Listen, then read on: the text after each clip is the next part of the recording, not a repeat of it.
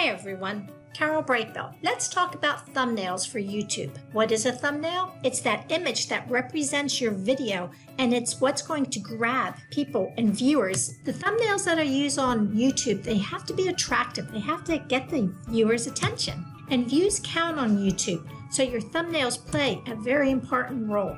For a YouTuber, a successful preview image is the best way to gain clicks, views, and even possibly new subscribers. I'm going to show you how to do this using Google Slides. You want to first log into your Google account, go to the nine point grid, lovingly called the waffle. The size for your thumbnail should be 720 pixels deep and 1280 pixels wide. So how do you do this in Google Slides? How do you get a custom size? What you want to do once you've logged into your Google Slides account, you want to go to the File menu and go down to where it says Page Setup.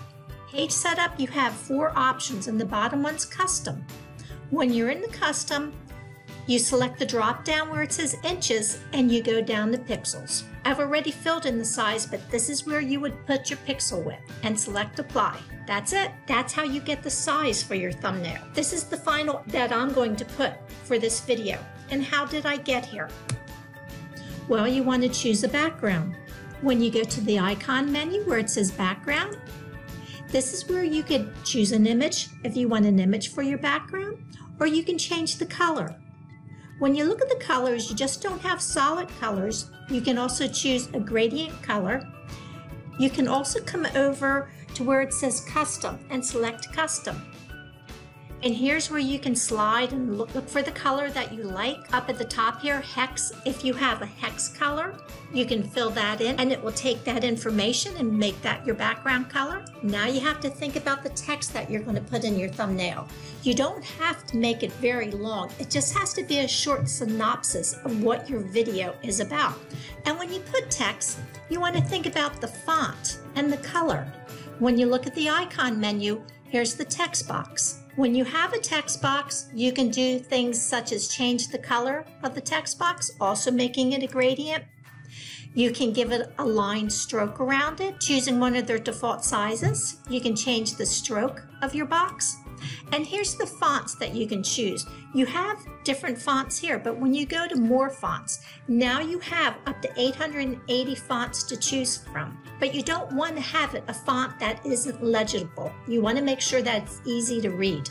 Your next step is to look for images if you're going to put images on your thumbnail. Maybe you want to take a snapshot from your video and use that as an image. Or all you have to do is go to Insert, select Images, and search the web. When you search the web, the images that come up are not copywritten images. And when you select an image, put Insert, and it will place that image for you within your Google Slide. When you select that image, you also have format options.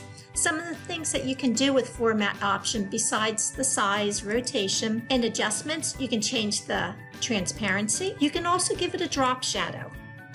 And with the drop shadow, you can take the distance of the shadow further away and you can change the angle of that drop shadow. And lastly, in the format options, you can reflect and reflecting puts a small little image underneath of the image that you have selected. So play around with Google Slides.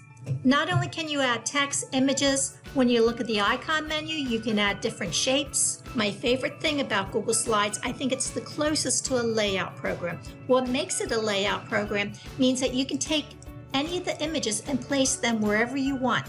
When you have that image selected and you right click on it, you can change the order and bring it to front.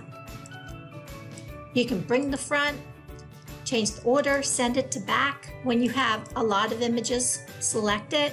You can also right click and you can group those images. And the final step that I want to show you after you have your design, what you're looking for, you want to come to the file menu and you want to select download. Download it as either a JPEG or a PNG. So next time you're making a YouTube video, think about using Google Slides to create a nice custom eye-catching thumbnail. Hope you enjoyed this video. Have a great day, everyone.